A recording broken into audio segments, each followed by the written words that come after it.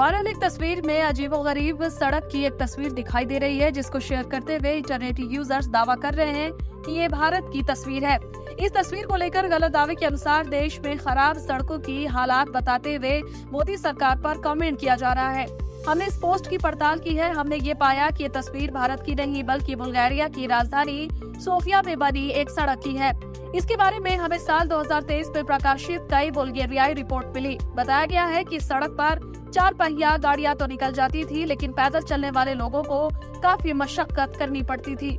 हमारी पड़ताल में हमने इसके बारे में एक फेसबुक पेज पर भी 17 अक्टूबर 2023 में किया हुआ पोस्ट देखा, जिसमें वायरल सड़क की कई तस्वीरें शेयर की गई थी। इनमें से एक तस्वीर इस इलाके के मैप की भी है, जिसमें बुल्गेरियाई भाषा में इस सड़क के साथ साथ आसपास की सड़कों के बारे में भी बताया गया है।